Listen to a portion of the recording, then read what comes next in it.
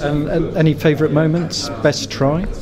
Well, favourite moments come from winning in, in the in the games, and certainly the ones I can talk about. But uh, yeah, I remember scoring a try in the second test. Well, I don't actually remember scoring the try because at the moment I was concussed, and I don't remember scoring that try. And I remember we won the game and coming off and being asked by the reporters to talk me through or talk them through the try. And I said, look, I'm a bit tired after the game. Let me just. Uh, have a bath or whatever. And going, anyone got a clip of the try? I don't remember scoring it, you know, because I was concussed. So it was funny. And then going back the third test the following week and trying to win, and just that huge pressure, the butterflies of going out there, and you know, we kicked five penalties that game. Ieuan Evans scored a try. We won 1918, and it doesn't get much closer than that. So, you know, it's high level sport, top class sport is won by small margins, and uh, it is ever thus and ever will be thus, and, and this tour will be no different. It'll be very, very close.